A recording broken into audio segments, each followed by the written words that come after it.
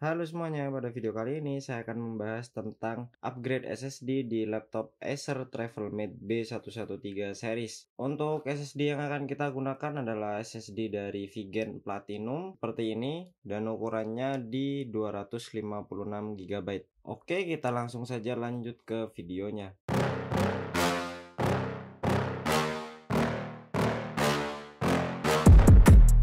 Oke, setelah selesai seperti ini, kita akan shutdown dulu untuk laptopnya. Nah, jika ada notifikasi update seperti ini saat kalian ingin upgrade laptop, kalian bisa pilih langsung shutdown saja. Jangan kalian pilih untuk restart dan update ataupun shutdown dan update. Jadi kalian shutdown saja.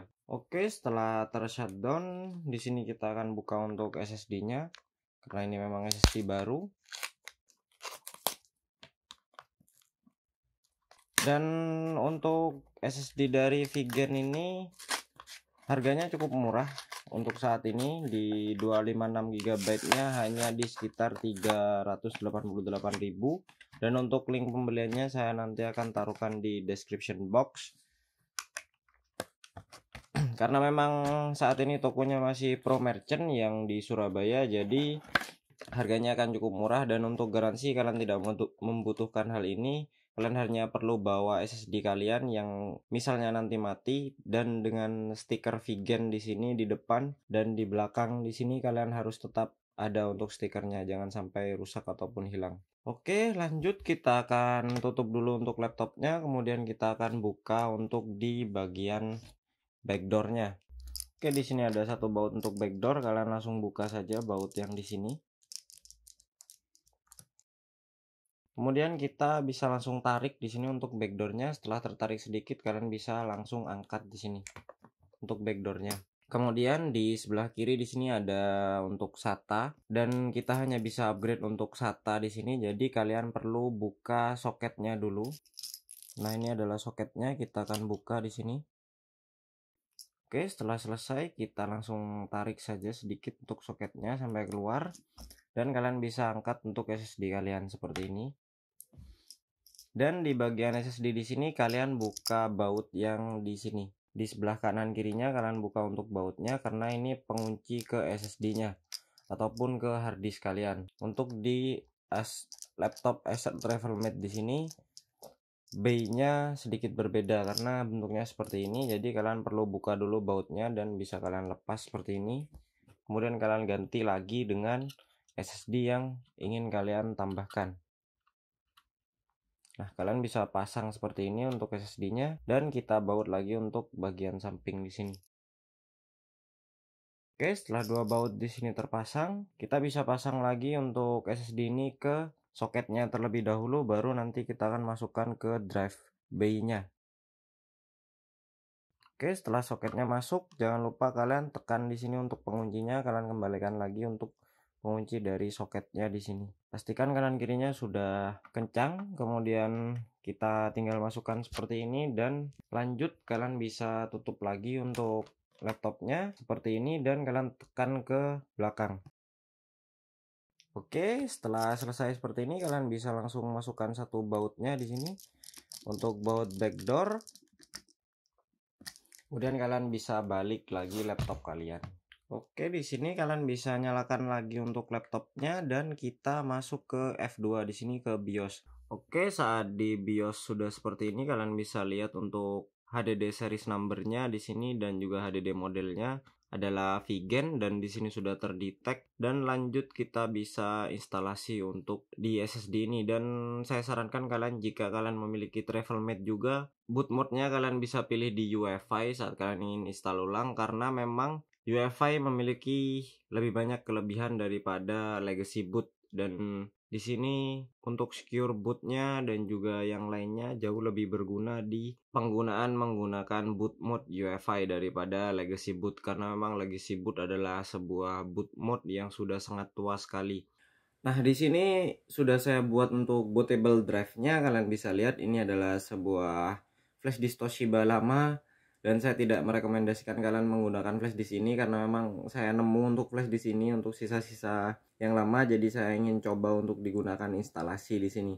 Sebaiknya untuk instalasi kalian bisa gunakan flash disk dari SanDisk yang USB Type C karena USB Type C nya di sana saat kalian memiliki USB Type C akan jauh lebih cepat untuk prosesnya untuk proses copy datanya nah karena kebetulan saya memang punya flash disk ini dan ini nemu sebenarnya flash disknya saya ingin tes saja untuk saat ini saat video kali ini saya ingin menggunakan flash disk ini dan laptop ini sudah kita upgrade tadi menggunakan SSD dari Vigen dengan ukuran 256 GB.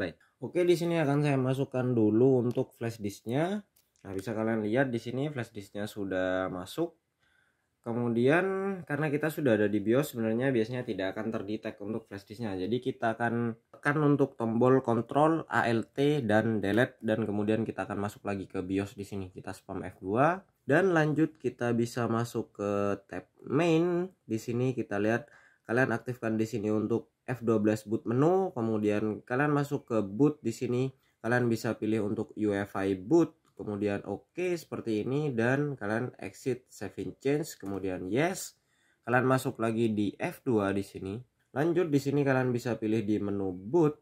Nah di sini kalian bisa sudah lihat untuk USB HDD Toshiba di sini. Trans memorinya sudah terdetek kemudian saya sangat sarankan kalian jangan kalian ganti untuk yang namanya boot priority order atau boot order. Jangan kalian ganti untuk penempatannya USB-nya ada di atas. Kenapa? Karena saat nanti setelah selesai untuk copy data pasti Windows akan meminta untuk restart. Dan jika flash disknya masih nancap di sana dan kalian pilih di boot priority 1 untuk flash disknya dia akan boot lagi ke flash disk. Lebih baik kalian gunakan boot mode namanya yang biasanya di main di sini disebut dengan boot menu. Nah, lanjut kita langsung exit. Exit saving change kemudian kalian klik di F12 di sini dan di sini sudah ada boot menu seperti ini kalian tinggal tekan enter. Nah, ini akan boot directly ke flash disk. Jadi nanti setelah selesai untuk restart dia akan otomatis masuk ke SSD-nya, bukan masuk ke flash disk lagi. Itulah kelebihan kalian menggunakan boot menu daripada kalian mengganti boot order. Jadi kalian tidak perlu setting-setting BIOS lagi atau lepas flash disk lagi saat kalian sudah selesai untuk instalasinya. Oke, di bagian ini kalian bisa langsung pindah ke tab Time and Currency Format. Kalian klik yang tanda bawah di sini. Kemudian kalian ketikkan IND dan dia ada di Indonesia kalian tekan enter yang perlu kalian ganti hanya time and currency format kemudian untuk keyboard input method dan juga language installnya kalian tetap gunakan English karena memang saya tidak suka menggunakan sebuah sistem dengan bahasa Indonesia kemudian saat ada di sini kalian bisa klik install now tunggu sebentar untuk proses loadingnya di sini karena memang ini adalah sebuah flash disk USB 2 jadi harap maklum saja jika prosesnya lama. Dan di bagian sini kalian bisa klik I don't have a product key. Kemudian di bagian sini kalian bisa accept the license term atau license agreement. Kalian tinggal next lagi di sini dan kalian pilih di custom install Windows only. Nah di sini drive nya sudah terdetek yaitu di 250 6 GB tapi di sini total size-nya yang digunakan adalah 238,5 GB. Oke, selanjutnya di sini kalian bisa klik di drive 0 di sini kemudian klik new apply dan oke okay, kita tunggu sebentar saat pembuatan partisinya. Nah di sini sudah selesai untuk pembuatan partisi sudah ada IV file system dan juga sistem reserve. Kemudian di sini kalian bisa langsung klik next. Kalian pencet dulu di bagian yang size nya besar di sini dan kalian klik next di sini. Nah 256 GB di sini kita biarkan default seperti ini dulu dan setelah kita install beberapa aplikasi nanti kita akan lihat size nya nanti masih cukup untuk menaruh beberapa file seperti dokumen atau yang lainnya. Jika memang cukup, kita akan buat partisi di D karena saat nanti sistem crash, datanya yang ada di D masih bisa diselamatkan. Ataupun kita masih bisa copy dengan flash disk dengan cara kita boot ke Linux. Oke, kita akan tunggu proses instalasi di sini dan videonya di sini akan saya percepat.